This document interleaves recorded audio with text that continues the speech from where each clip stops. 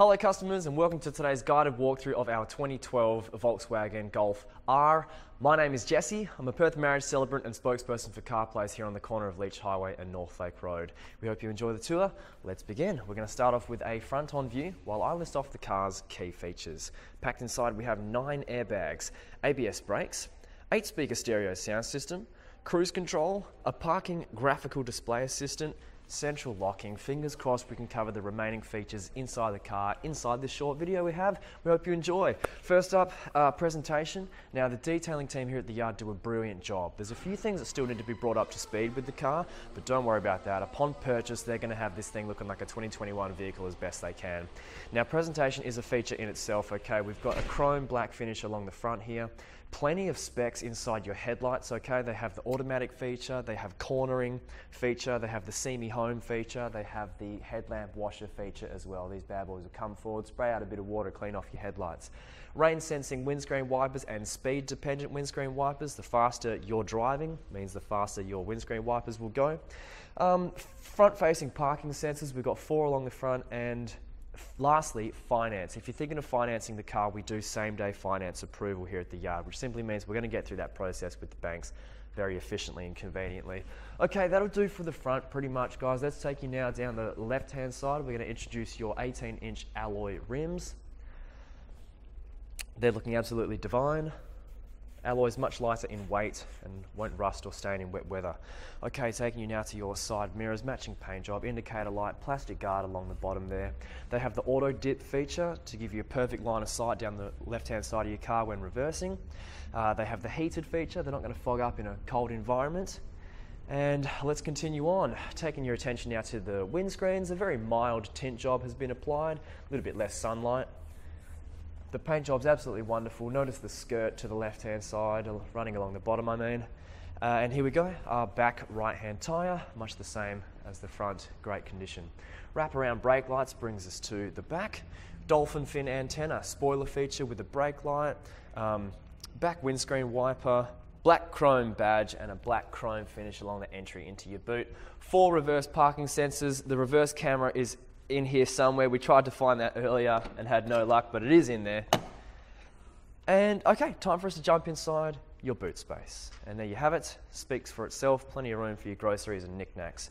You've got a cargo cover along the top here. If you want to disinstall that, no worries. Just unclip it from the left and right hand corners up here. All right, and I've just lifted that up, try and put that back in place. Okay, if you lift up the floor, we've got the spare tyre and a toolkit about the place to be able to install that. Pretty simple stuff, and that'll do us. 12 volt power supply, I've just noticed, up in the top right hand corner to equip any uh, accessories. Alrighty, let's take you now down the right hand side. Push open fuel cap, nice and convenient. And let's suss out our back right hand tyre. We have front and rear independent suspension. Oh, okay.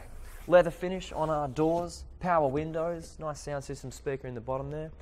The cat, uh, sorry, the seats themselves are made from what I call the couch material. We've got an armrest in the centre, storage on the back of the driver and passenger seats, air conditioning vents, and carpet floor mats running along the feet. Into the front we go. Don't forget about your partial leather interior, power windows. This is your side mirror adjustments here.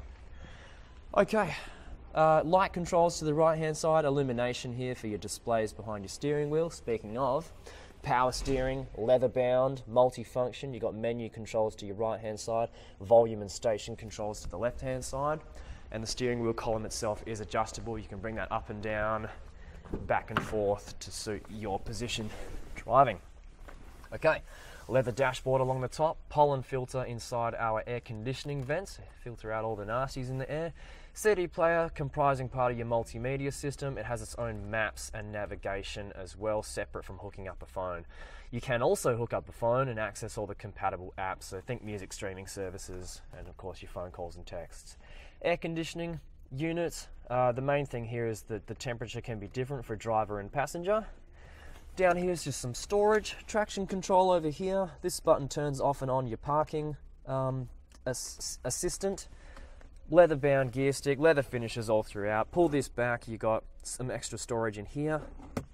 An aux input just where I'm pointing. Leather finish on top of your center console. Lift that up, and we've got uh, what's this? a USB inputs, space to chuck your phone, and what have you. Awesome.